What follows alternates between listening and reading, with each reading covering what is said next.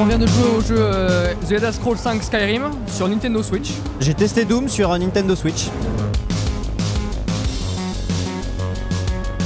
J'ai bien aimé le côté très vif, très bourrin.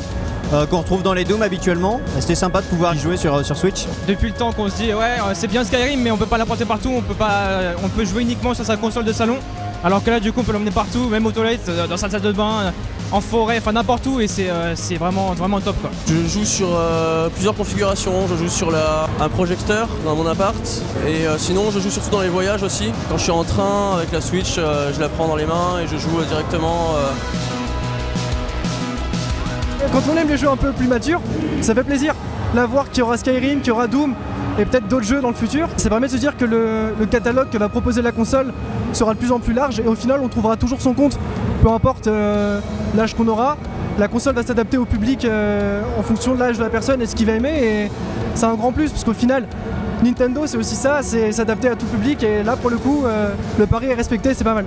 Bah, c'est quand même assez intéressant de pouvoir jouer à un jeu euh, P18 et pouvoir euh, jouer dans son salon, dans le métro, euh, pendant sa pause au travail, c'est assez intéressant. Je pense que Nintendo commence à viser un peu plus un public adulte en changeant un peu de répertoire de jeu.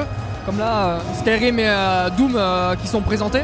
C'est une grande évolution pour la console, effectivement. Franchement, euh, pour une console de Switch comme ça, toute petite, qui est capable de faire tourner un jeu comme ça aussi, aussi bien, bonne surprise et grosse claque quoi, franchement. Le jeu est vraiment prometteur. euh, Les graphismes sont très jolis. Comparable à une console, ouais, et à un ordinateur.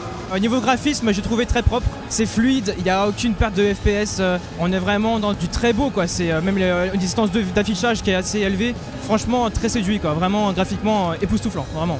Donc euh, grand fan, grand joueur et euh, c'est vrai que du coup ressortir sur Switch c'est euh, c'est top quoi.